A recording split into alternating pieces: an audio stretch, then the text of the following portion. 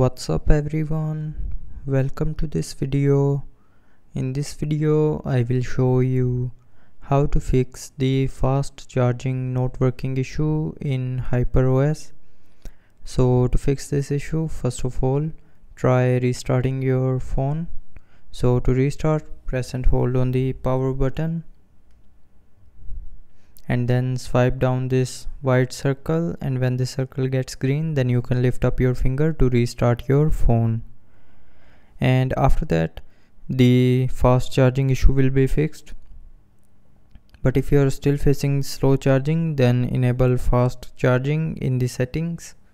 So open settings scroll down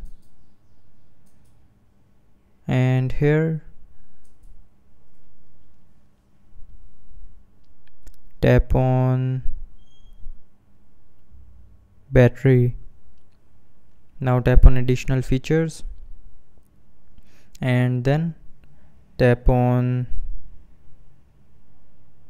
speed up charging button. So if this button is turned off then turn it back on. And after turning on this button the fast charging will start working properly. But if you're still facing the issue then check your charger and cable. So you can check it by charging another phone. So if the charger and cable are working properly then you have to take your phone to the repairing shop to fix this issue. But if the charger and cable is not working then change your charger and cable and after that your issue will be fixed.